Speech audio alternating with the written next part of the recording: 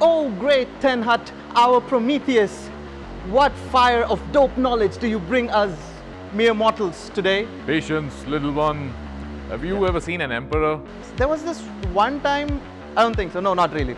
You? Not really, even though India was known to be a land of kings and emperors. But this is India 2.0, where the emperors are slightly different. Yeah, and way more approachable. So today, we finally get to meet one. Presenting the all-new Skoda Kushaq.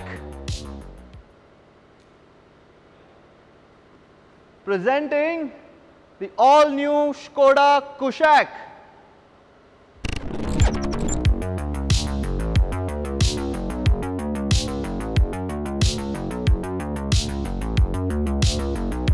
Welcome to yet another episode then of Know Your Shift on Power Drift and today's one is particularly significant. Listen, comrade. Skoda is a Czech brand, yes? Yes? Then shouldn't it be named uh, the Tsar instead of uh, Kushaq?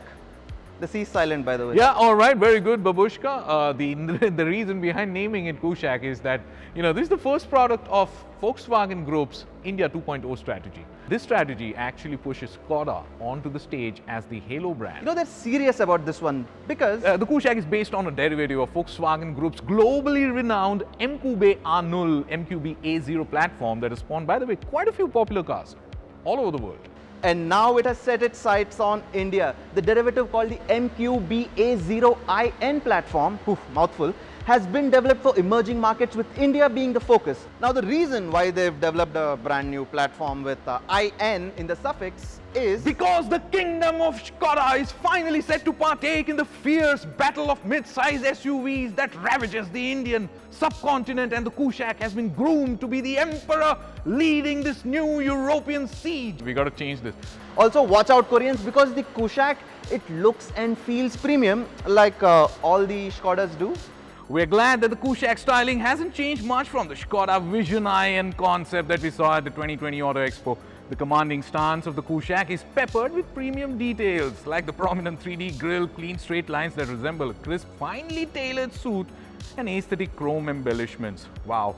Adding some muscle to the design are also tough-looking body claddings while the sporty 17-inch alloy wheels beautifully round off the proportions. Alright, so emperors have crowns and they have crown jewels. And Skoda's crown jewel has to be their signature crystalline LED lighting.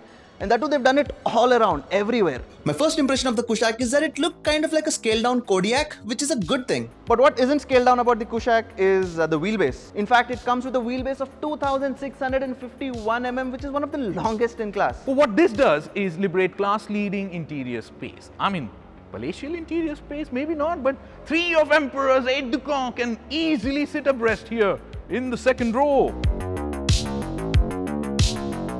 See, just like the exteriors, the interiors of the Kushaq look and feel premium as well. And that's mostly because of those little details like that gorgeous, gorgeous twin spoke steering wheel, chrome scrollers and that shiny piano black trim on the dash and the door pads. By the way, the twin spoke steering wheel is pretty similar to the one that you find on the Octavia. The Kushaq has uh, things that not even the Emperor's throne has like ventilated seats. While the cabin is climate controlled, the kingly treatment continues with chilled refreshments served by a cool glove box. The rear passengers get their dedicated AC vents, twin USB sockets and smartphone pockets. Wow, that rhymed. So if you're sitting up front, however, and get bored of uh, scrolling, you can rest your smartphone in the nifty wireless charging tray, open the electric sunroof and enjoy the moment.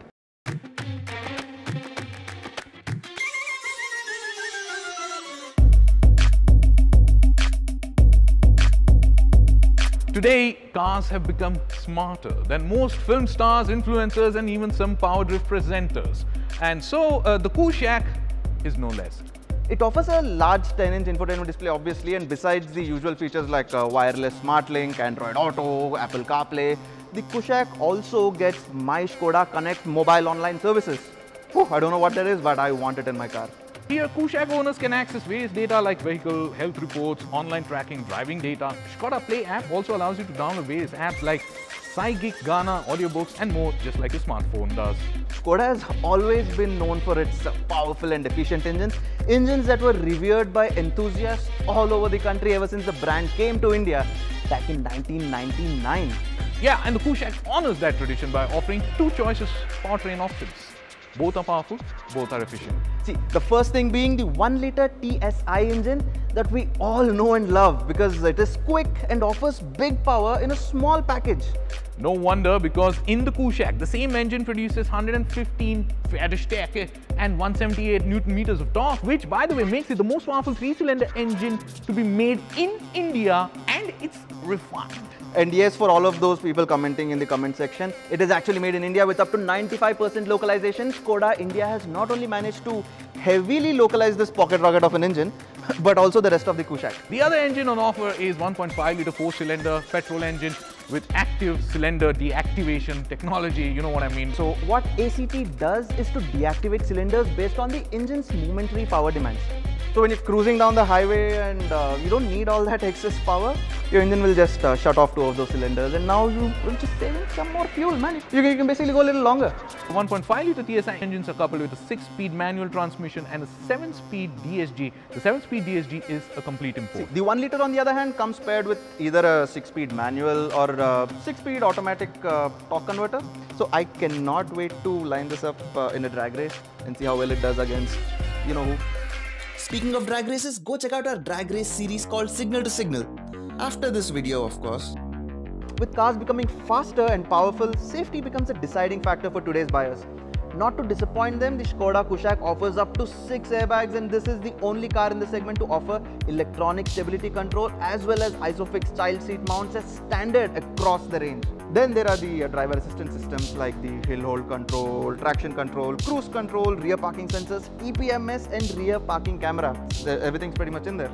Alright, so there you have it ladies and gentlemen, the new emperor from the land of India 2.0 is here. When launched, the heavily localized Kushaq should be then priced competitively, thereby promising to offer what we Indians love, good value. We also think that the cost of ownership will be significantly lower with the Kushaq thanks to the high percentage of localization. And as for the ease of availability, well, um, the Skoda India is increasing number of touch points, that is to say dealerships and service centers across the country as we speak. We wish uh, Kushaq all the best because this might be one of the most important launches for Skoda India ever since they launched the first gen Octavia back in 1999. Thank you so much for watching this edition of uh, Know Your Shift on Power Drift. Once again, we'll be back very soon with this time the first drive of Kushaq. So don't forget to hit that like button, that subscribe button and all those buttons of that nature. Bro, I have a question for you. Yes? What is an uh, 8 decom? Told you the Kushaq is smarter. Goodbye.